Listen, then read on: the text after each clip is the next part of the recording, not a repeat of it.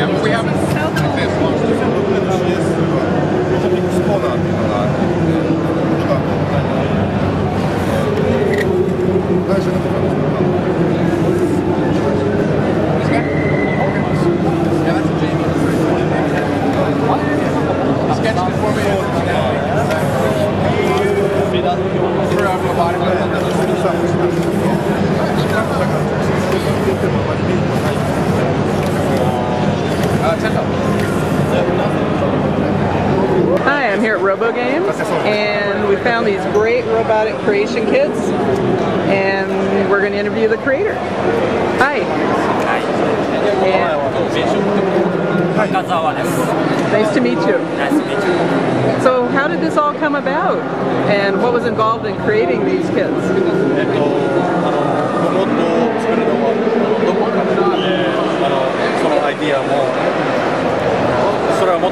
もともと南條さんのアイディアえー他のロボットを見て、えー大きなロボットが多かったので、はい。小さなロボットを作ると、人気が得られるかな Uh, the idea came from other robots which are currently being marketed in Japan, but they're much bigger robots.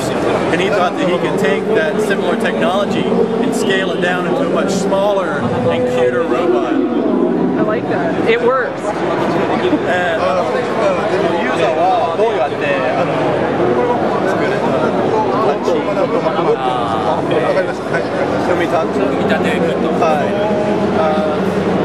it's, uh, the, these kits can be assembled by the user. They come unassembled in parts in these boxes as you see here. And then the user, uh, with a manual, assembles the robots by piece to have their own robotic creation. Okay. And how are they controlled?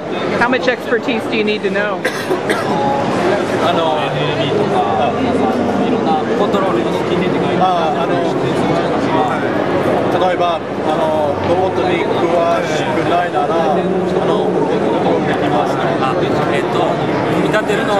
多分詳しくなくても大丈夫だと思いますけど、えー例えば動きをモーションを作るとかっていうのは少しパソコンにコンピューターに慣れた人じゃないと難しいかもしれない。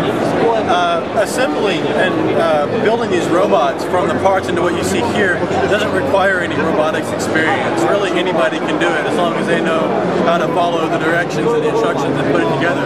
Now, controlling it and loading the programs uh, into the robot from a computer would require that the user have at least a basic knowledge of computers. Now, is he controlling this with his phone?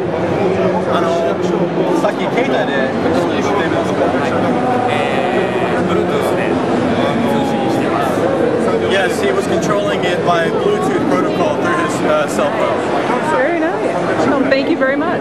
Thank you.